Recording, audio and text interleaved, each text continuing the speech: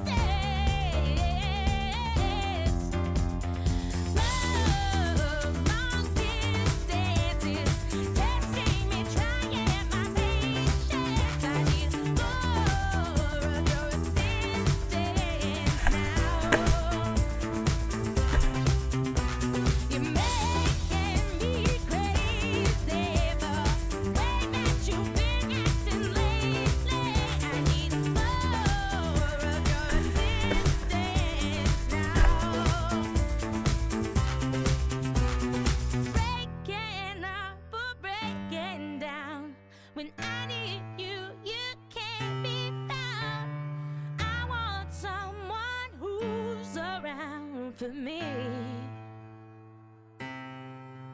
Does it hurt?